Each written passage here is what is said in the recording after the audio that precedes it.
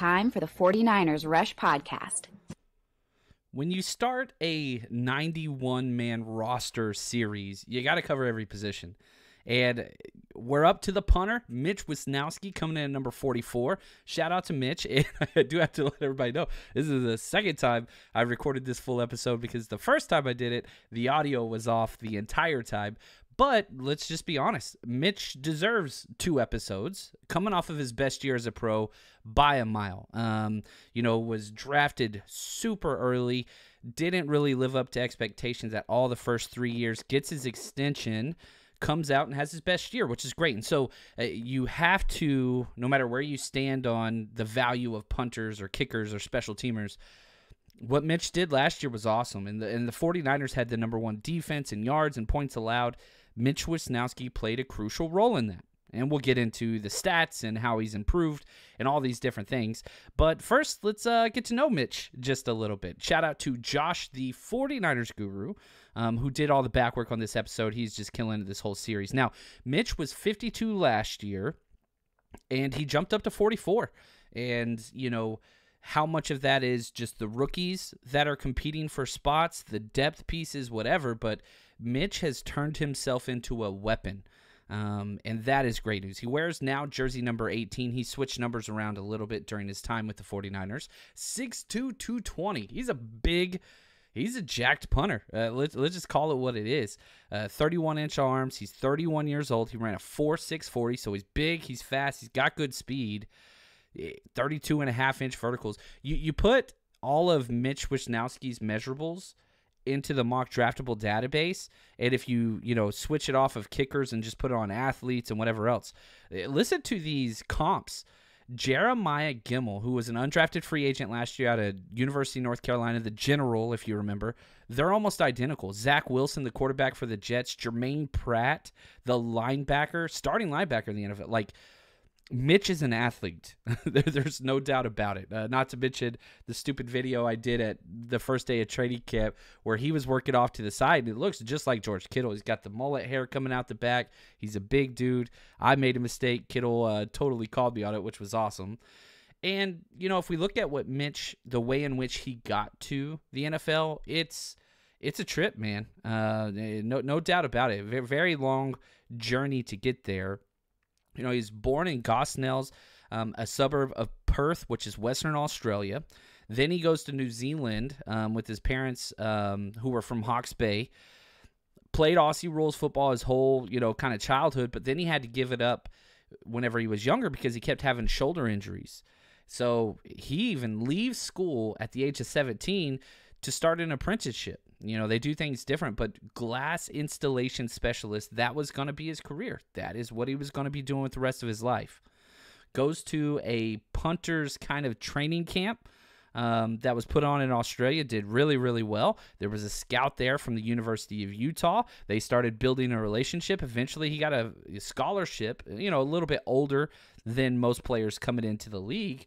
But then he goes to Utah and just dominated. He was a three time All American, Ray Guy Award winner in 2016, and probably.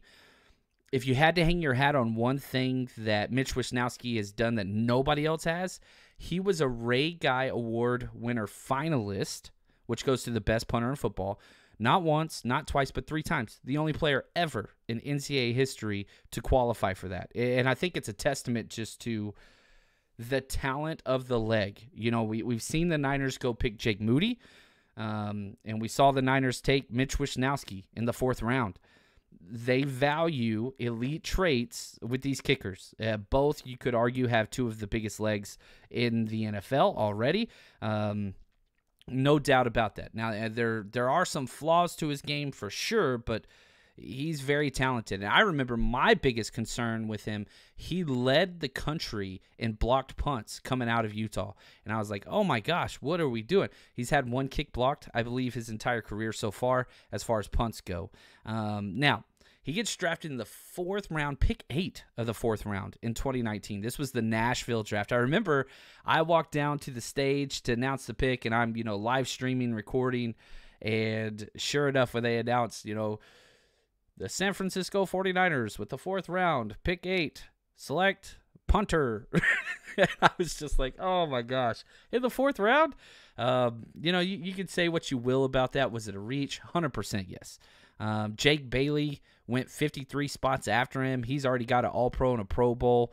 Um, some other players that were selected after him Tony Pollard, Dre Greenlaw, Hunter Renfrow, Gardner Minshew. You can go on and on and on. But the whole idea of Shanahan and John Lynch, they believe the fourth round, which they include the third round comp picks into the fourth round. They've been very, very clear about that. It's time to find people that can be on the roster guaranteed. That's what they're looking for, and that's what Mitch was. Now, his time in the NFL 236 punts, that's quite a few. 45.2 yard average, solid. 101 punts inside the 20. That's a 42% of all of his punts inside the 20. Not bad. Um, last year, um, 17 games, 61 punts. He had a 43.9 average. But here's my favorite thing about him only had five touchbacks. So 61 punts, five touchbacks. That's incredible. 32 punts inside the 20 for 52% inside the 20. That's huge. Um, I, I, really do think that he was great. And if you look at PFF numbers or whatever else, he had a 58.4 punt grade in 2021. That shot up to 73.3. So you're talking about a 15 point jump, and it showed. Um, seventh highest graded punter from Pro Football Focus last year, fourth most punts inside the 20. He's top 10 in every category. I have no qualms whatsoever with saying Mitch Wishnowsky is kind of a top five punter. Um, now, is he closer to seven than he is to four? Sure, I, I do agree with that. But not if he continues on this trajectory. And so, you know, he's 31, but he's got the leg, he's in shape. I'm excited to see what he can do. And if he can keep on that climb, I think Pro Bowls are in his future. Uh, all pros, I don't think we're there yet, but Pro Bowl, yes. With if he does the exact same season that he did this year, he should be a Pro Bowl punter. Um, in my estimation. Now, another thing that I th- don't think that Mitch Wishnowsky gets credit for, I think he's the best holder on the field goal unit that I've seen in a long damn time. You know, we break down every single play all 22, offense, defense, special teams, the last two and a half years. We've never missed one play. I've seen every single field goal and extra point, and we have broken it down. And you can go back and check our Patreon and watch those. Mitch is a beast whenever it comes to holding. I really felt that, you know, our snapper, Taybor Pepper, who I love, I, I thought he had a very down year.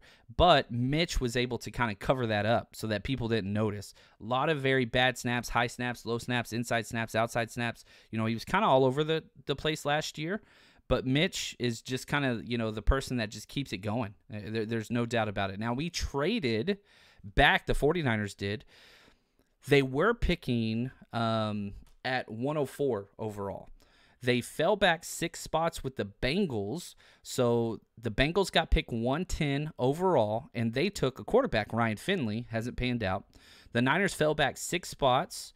They picked, obviously, Mitch Wishnowsky, but they also picked up, pick 183 overall, Justin Skule, who was a tackle. He didn't really pan out as well, but that's just kind of where he is. You know, Mitch if we, if we're looking at the roster and kind of what he brings, he's the lock. There's he he started camp on the pup for one day, and they didn't even bring in a backup punter to compete. They just said, ah, he'll be fine. Like Mitch is the guy, uh, barring significant injury, but I think he's going to be fine. He's a punter. Excited. I just really hope he maintains or increases production, and if he does, then I think he's going to start to get some of the career accolades that you know a punter would want. Pro Bowls, all that stuff could be in his future. And it helps the defense. This is all hidden yardage that the 49ers defense doesn't have to stop. You know, eh, people don't understand. If you get a punt inside the 10 as opposed to a touchback, that's an extra first down and a half, usually, that the defense has to stop. And so if the touchbacks make such a big difference, and when the 49ers defense, they already have so much confidence, Nick Bosa, defensive player of the year, Warner, they're so good. Whenever they're jogging onto the field and that ball starts inside the 20 yard line, it is just like a steroid boost like you are just like, let's go. Not that I've done steroids, but uh, obviously, right? but but it just makes such a big difference, and that's why Mitch is at number 44, despite being a punter. Uh, I think he's a key piece in the 49ers story for 2023. So hopefully you enjoyed that, Mitch. Go get him, buddy. And for us, we'll just keep counting them down.